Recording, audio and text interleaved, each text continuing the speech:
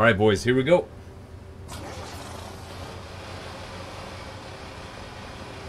Kenworth 900 DLC. Let's go.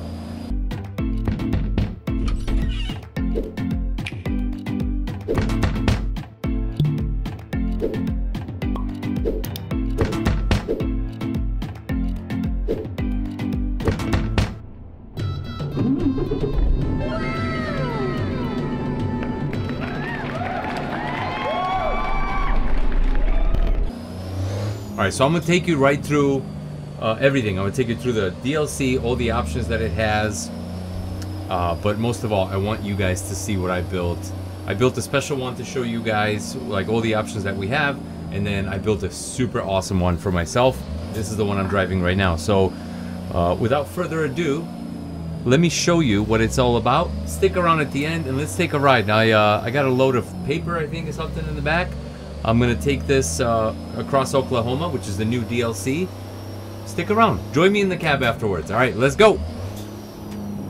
All right, here we go. So as we start building it, we see the cabin options are pretty much the standard options. But uh, as soon as we get past this portion, things get really saucy. There are so many things to choose from. So yeah, of course, let's go with the 86 Studio Sleeper because that's the big guy. And then let's move on to chassis. Chassis is quite extensive. I might be mistaken, but a lot of the trucks do not get this option of uh, 8x4, 8x6. And of course, I'm going to go for the long, big body boy. That's right. Uh, we're going to go for 8x6. Uh, of course, with the full wheels in the in the back. After that, we're going to move on to the engines, of course. I do have a lot of modded engines, but the standard ones that they have, of course, we're going to put in the most powerful one. And let's keep an 18-speed transmission. I mean, come on. Listen, we need to hear those uh, gears shifting. I like the interior. This is quite a lot of options, as you can see. A lot of colors. Uh, I love the quilting, and even the cloth on the seats is depicted really well. So super, super cool. I had no idea there were so many color options. On the exterior, if we move on, you know, you're going to get your regular colors. If you've bought any of the DLCs, the paint DLCs like I have, you'll get these uh, very custom looking paints, which come across really nice. Uh, and even some of the more saucy stuff like, um, you know, this all this detailed Western themed stuff. Quite a big fan of all of it. But, uh, you know, I always seem to land on the uh, the last ones, which is the, the the super super classic ones with the, the cowboy theme. The colors are appropriate. The graphics are awesome. Uh, so this is pretty much where you'll catch me, especially on the truck that's this this classic in nature. All of these classic paint jobs stand out so well. So here we go. Of course, let's go with the final draw. and now the big job starts. Starting with the bumper, of course, we want to go low and massive. So, uh, you know, my other preference is as many LEDs as we can fit on, the better, right? So I'm going through all of it and I'm showing you all the bumper options. There's quite a, an intensive amount of bumpers. Uh, all the way to roll pans, which I didn't really prefer. So, you know, I'm going to go with the Ranger. It's super low ground scraping and it's got all these lights on it. The grills, again, super amounts of grills. I love it.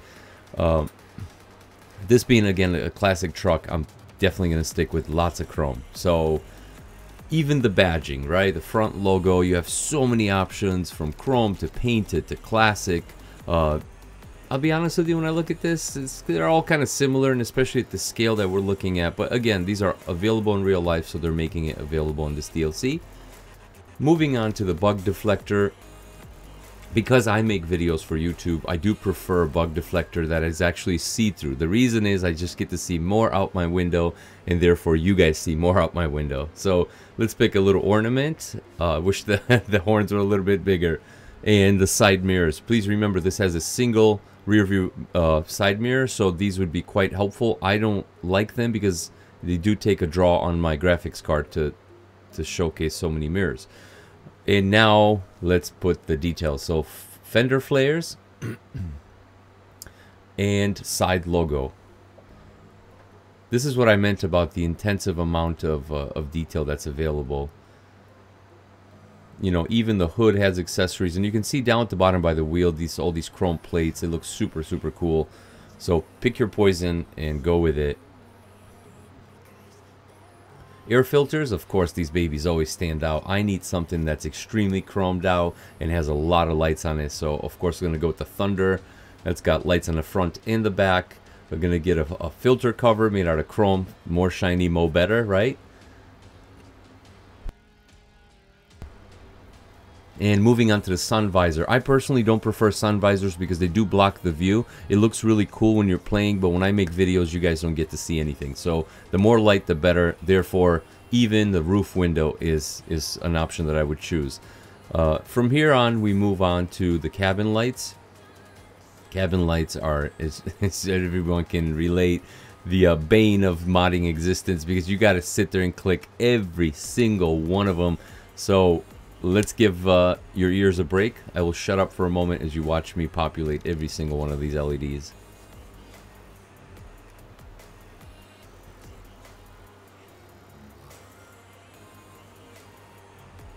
All right, now we move on to the cabin deflectors.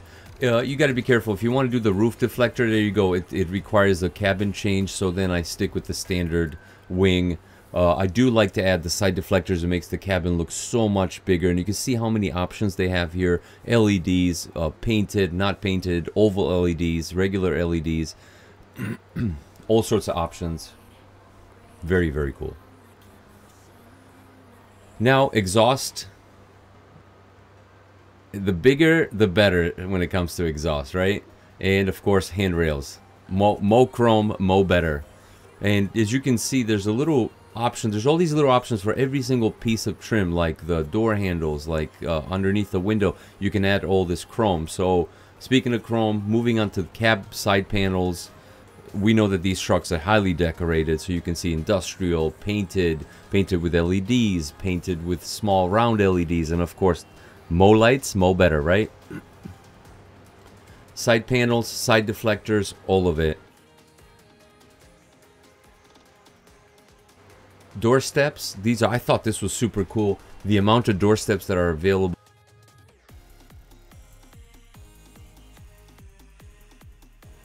And as we move on, the lamp bars down at the bottom. Just again, more lights, more better, better tires. And let's see, let's move on to a big uh, 300 gallon tank, which you see took my steps away and it got me coming kind of confused. You know, this this is part of modding, right? You take one thing, doesn't work with the other. Uh, but of course we need a 300 gallon tank and of course we need LEDs on it. I was able to match the back steps again and now onto the rear fenders and I thought this really stood out on this mod. These rear fenders are gorgeous. Like look look at the way they just cover everything.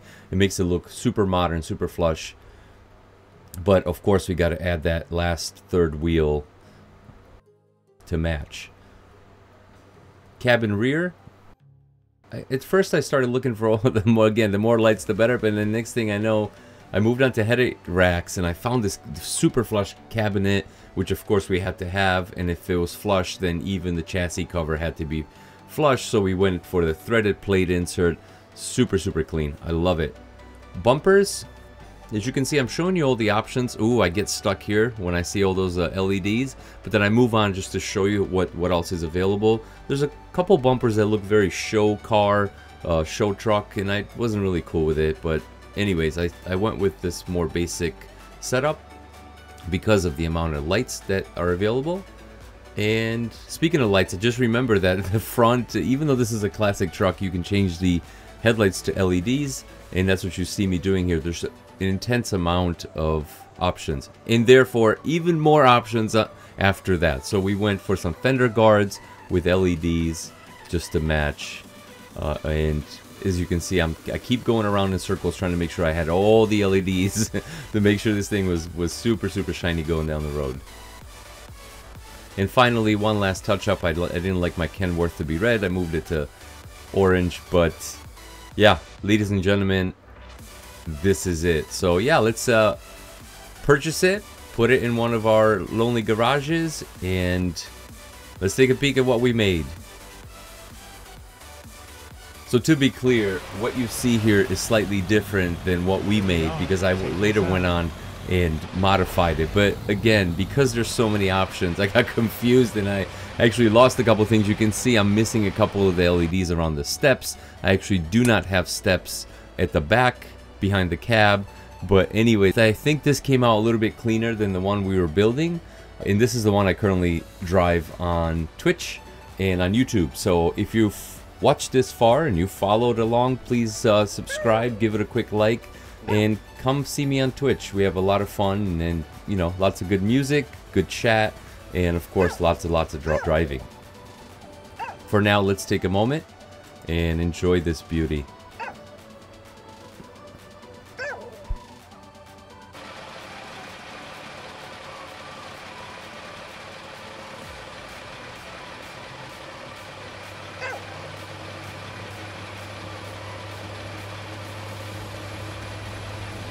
I like this thing so much. Actually, uh, I was sitting here just taking snapshots of it until the night came in the game.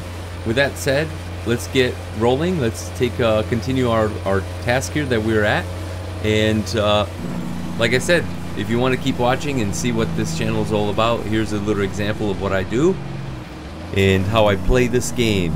Uh, my whole goal is to get you as immersed as possible, to get you confused, to have you asking questions like, what is this guy actually doing here? What's real and what's not? So, again, join me on Twitch live or subscribe and follow on YouTube for more.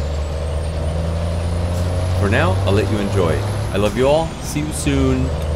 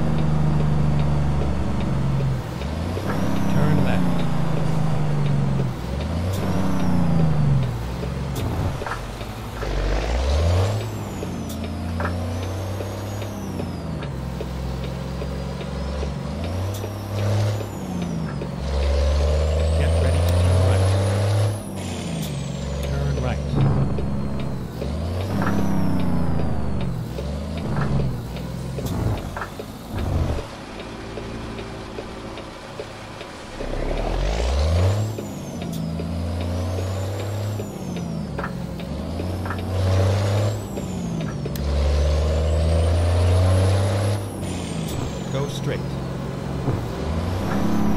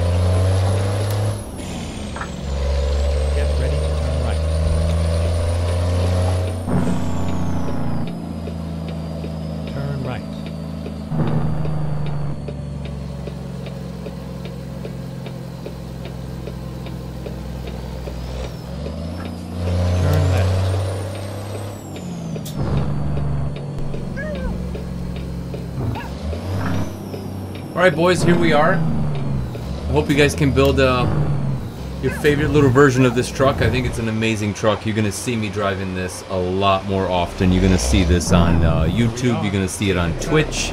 Me and Uno are going to put some miles on this baby boy. So, yep, highly recommend this. Come on, it's worth the price. Stop it. It's $2.99, $3.99. Okay, wait a month. Maybe it's $1.99, but uh, why wait? Go get it. You know what I'm talking about? Go get it. So let's uh, drop this puppy off and call it a day. All right, boys. Remember, always parking brake on. engine off, and drop it off, boys. See you next time. Love you all.